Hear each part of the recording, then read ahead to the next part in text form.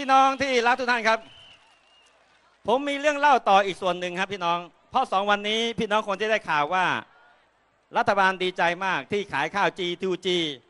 ให้กับประเทศจีนได้ 1 ล้านตันกำหนดส่งมอบ 1 ปีล็อตแรก 5 เดือนคือเดือนมีนาถึงเดือนกรกฎาคมเนี่ยส่ง4แสนตัน ที่เหลือทยอยส่งให้ครบ 1 ปี เซ็นกับบริษัทคอฟโก คอฟโกเป็นรัฐวิสาหกิจยักษ์ใหญ่ที่รัฐบาลจีนให้การรับรอง และมีการกำหนดว่า ราคาซื้อขายเป็นราคาณท่าเรือ อยากจะกลับเรียนพี่น้องสั้น ๆนะครับว่า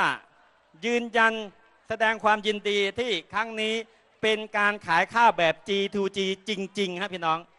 วันนี้ผมขอแสดงความยินดีกับคุณยิ่งรัก ว่าข้าวล็อตนี้ของคุณเนี่ยเป็นของจริงพี่น้อง เราแสดงความยินดีเขาหน่อยครับพี่น้องครับ อะไรที่เขาทำถูกต้องเราต้องชมครับพี่น้อง แต่ปรากฏว่าส่วนใหญ่มันทำไม่จริงมันโกง ไอ้ล็อตนี้ที่เพิ่งลงนามเมื่อสองสามวันที่ประเทศจีนเนี่ยหนึ่งล้านตัน อันนี้ของจริง แต่พี่น้องเชื่อไหมครับ ก่อนหน้านี้ที่ผมตรวจสอบก่อนมีการยุบสภา ยิ่งรักชินวัตรรัฐบาลชุดนี้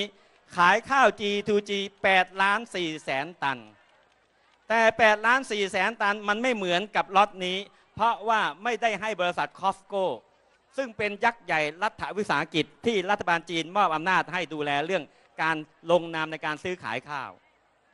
และก่อนหน้านี้เป็นการซื้อแบบหน้าคลัง ก็คือหมายว่าทางจีนส่งคนมาหาของที่หน้าคลังถ้ามันเป็นไปไม่ได้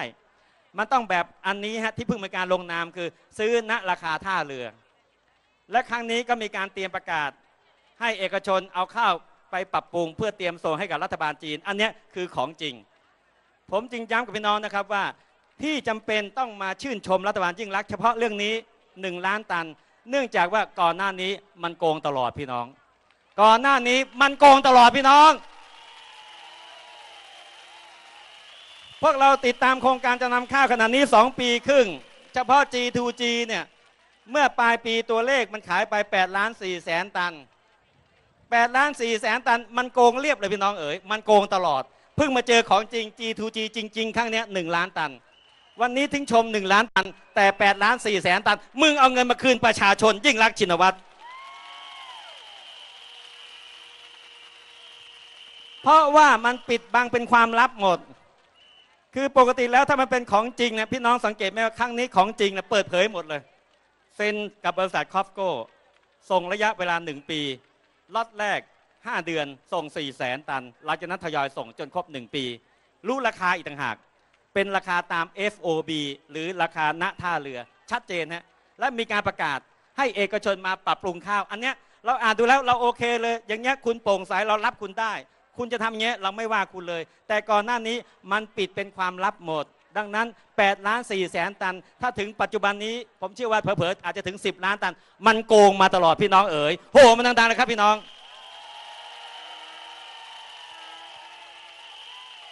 และสิ่งที่ต้องย้ำกับพี่น้องว่า ผมยังเชื่อว่ายิ่งรักษณ์ชินวัตรและคณะยังกังวลต่อองค์กรอิสระที่ชื่อว่าปปช ในกระบวนการตรวจสอบโครงการรับจำนำข้าว สถานการณ์ล่าสุดที่ต้องรายงานพี่น้อง ปปชกำหนดไว้ว่า ยิ่งรักษณ์ชินวัตรต้องมารับทราบข้อกล่าวหา เมื่อวันที่ 27 กุมภาพันธ์ที่ผ่านมา แต่วันที่ 27 ยิ่งรักษณ์กลัว ยิ่งรักษณ์ไม่กล้า ยิ่งรักษณ์ไม่กล้าเจอนักข่าว ถ้านักข่าวถามแล้วแล้วยิ่งรักษณ์ตอบไม่ถูก เพราะยิ่งรักษณ์ขนาดนี้ปั้มปั้มเป๋อเป๋อเบอะเบอะบะบะพี่น้องเอ๋ยยิ่งรักษณ์เลยส่งทีมทนายความมาดูแล และปปชกำหนดไว้ 15 วันว่ายิ่งรักชินวัตรคุณจะต้องมาชี้แจงข้อกล่าวหา นั่นคือจะครบกำหนด 15 วันที่ปปชกำหนดไว้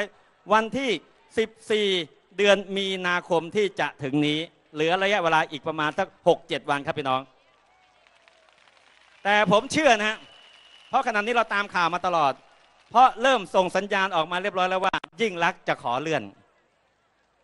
สัญญาณจากนายพิรพันธ์พารุสุข หรือจากทีมทนายเนี่ยมีสัญญาณออกมาแล้วว่า ยิ่งรักจะขอเลื่อน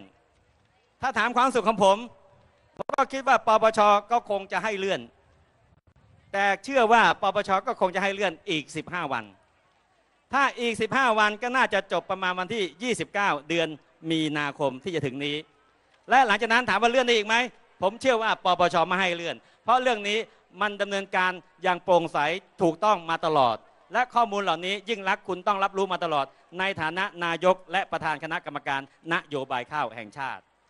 และผมก็เชื่อว่าหลังจากเรื่องนี้ไปยื่นต่อปปช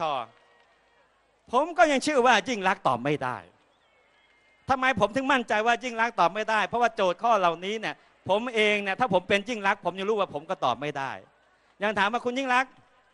คุณเป็นประธานคณะกรรมการนโยบายข้าว ทำไมปปชเนี่ยพวกกับผมเองในนามของปปชรับรู้อยู่แล้วว่า โครงการนี้มันโกงทั้งต้นน้ำกลางน้ำปลายน้ำเคยเตือนคุณยิ่งรักไปแล้วสองครั้งทำไมคุณไม่จัดการทำไมคุณไม่ดูแลทำไมคุณเฉยเฉยทำไมคุณไม่สนใจ ยิ่งรักจะตอบยังไง ถ้ายิ่งรักบอกว่าจัดการแล้วคุณจัดการยังไง แสดงว่าคุณปฏิบัติหน้าที่โดยไม่ชอบ อย่างนี้คุณก็ต้องติดคุกคุกคุกคุกคุกมันไม่เพียงแต่ที่ปปช เตือนรัฐบาลยิ่งรักไปสองครั้งอย่างเป็นทางการ สตงก็เตือนไปหลายครั้ง ข้อมูลเหล่านี้พี่น้องต้องจำเอาไว้เถียงไอ้พวกนั้นเพราะไอ้พวกนั้นมันชอบบิดเบือนและชอบโกหก พี่น้องจำไว้เลยว่า สตงเคยเตือนไปสองครั้ง ปปชเคยเตือนสองครั้ง คณะกรรมการปิดบัญชีคือท่านรองสุภาก็เคยทำหนังสือเตือนว่าขาดทุนไปแล้วประมาณ4ี่แสนล้านนะทำไมไม่ยุติโครงการ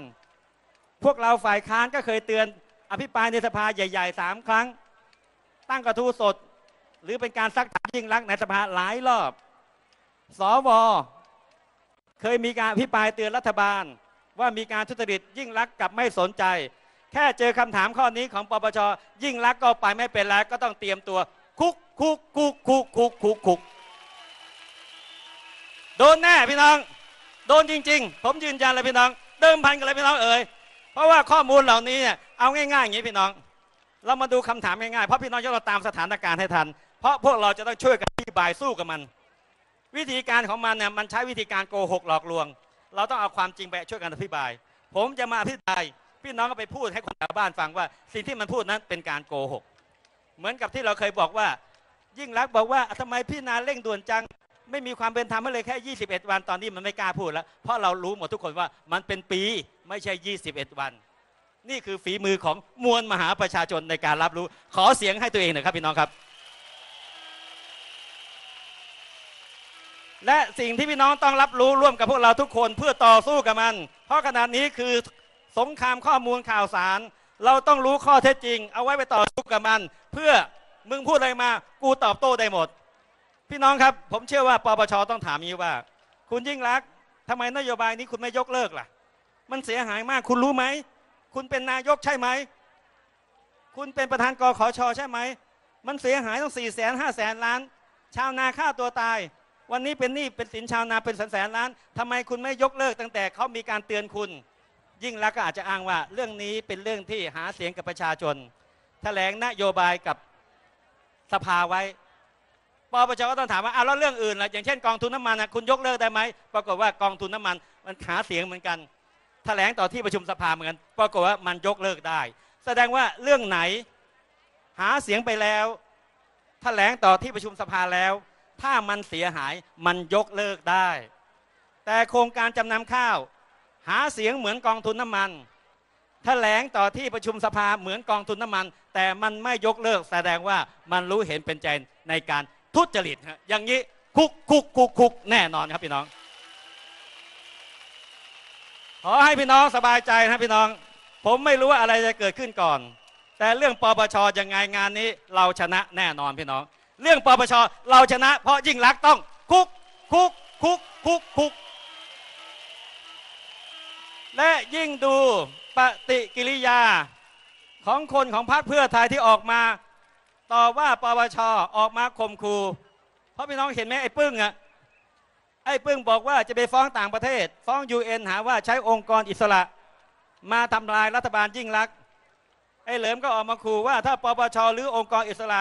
ตัดสินให้ยิ่งรักษณ์ต้องหลุดจากตำแหน่งเนี่ยบ้านเมืองกรียุคอย่างเงี้ยมันข่มขู่เรา บอกไอ้เหลิมมึงต้องบ้างนะโว้ยไอ้บักเหลิมเอ๋ยไอ้บักปึ้งเอ้ยสิ่งที่พี่น้องเราทุกคนต้องเตรียมตัววันนี้ พี่น้องต้องฟังข้อมูลข่าวสารเรื่องข้าวเรื่อยๆ เพราะผมเชื่อว่ายังไงยิ่งรักคอขาด ยิ่งรักไปไม่รอดแน่นอน และวันนั้นมันจะบิดเบือน ถ้าพี่น้องไม่ได้ฟังข้อมูลข่าวสารปุ๊บเดี๋ยวมันโกหกบิดเบือนแล้วพี่น้องก็งงสับสน วันนี้พี่น้องต้องฟังไปเรื่อยๆ ฟังซ้ำๆเพื่อเตรียมข้อมูลไว้สำหรับตอบโต้กับพวกมัน เพราะเราเชื่อว่ายิ่งรักไปไม่รอดแน่นอนพี่น้องเอ๋ยพี่น้องที่รักทุกท่านครับ และท้ายที่สุดนี้ ผมหวังเป็นอย่างยิ่งว่าต้องเรียกร้องปปชฮะเพราะเข้าใจว่าท่านถูกกดดันจากพวกนี้อย่างยิ่งในหลาย ๆ เงื่อนไข ขอให้ท่านทำหน้าที่ด้วยความสุจริตด้วยความเที่ยงธรรมและกล้าตัดสินใจ อย่าวันไหวนะฮะถ้าปปชวันไหวเหมือนกับเข้าคนข้อคลหาต่างๆ ที่มีกระแสออกมาเป็นระยะระยะ คนที่ติดคุกอาจจะไม่ใช่ยิงรัก อาจจะเป็นปปชก็ได้ครับพี่น้อง ยังไงก็แล้วแต่เรายังเชื่อมั่นนะครับ ขอให้กำลังใจปปชในการทำหน้าที่ครับ ขอบคุณครับพี่น้องครับ สวัสดีครับ